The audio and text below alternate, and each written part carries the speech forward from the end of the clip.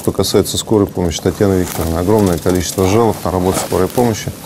Действительно, мы поднимали этот вопрос на расширенном совещании с медиками. Нас, э, нам показывали красочные нарядные презентации о том, как э, успешно и эффективно работает э, станция скорой помощи, а, что нас тогда тоже возмутило, но тем не менее. В общем, работа, я так понимаю, должным образом до сих пор не выстроена.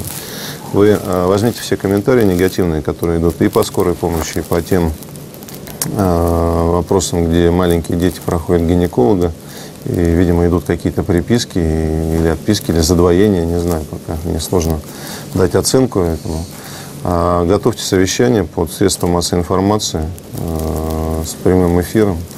Будем задавать вопросы вместе с а, жителями, получать комментарии. Организуйте инстаграм-трансляцию, Роман Викторович. Э, и все комментарии, которые будут поступать в онлайн-режиме, на все эти вопросы и комментарии будут медики давать вместе с нами ответ. А, происходит какое-то искажение э, ситуации. Мы говорим о том, что проблема есть, и получаем постоянные жалобы о том, что скорая помощь появляется к маленьким детям с температурой 39 и под 40 бывает через 2-3 часа.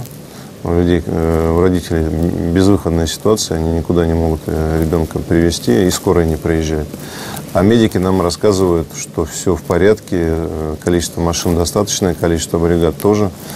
Э, все в штатном режиме. И да, да, сделаем горячую линию именно по этому вопросу. По, по вот этим задвоениям, э, о том, я первый раз, честно говоря, из социальных сетей узнал о том, что такое, такое присутствует. Давайте в этом разберемся и, да, и выведем всех на чистую воду, если там какие-то махинации.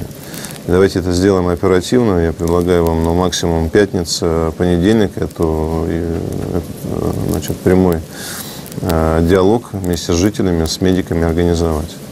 Посмотрите, какие у них э, тоже там в графике планы, так чтобы всем было удобно собраться за круглым столом, э, всем главным врачам и станции скорой помощи и ответить на вопросы жителей.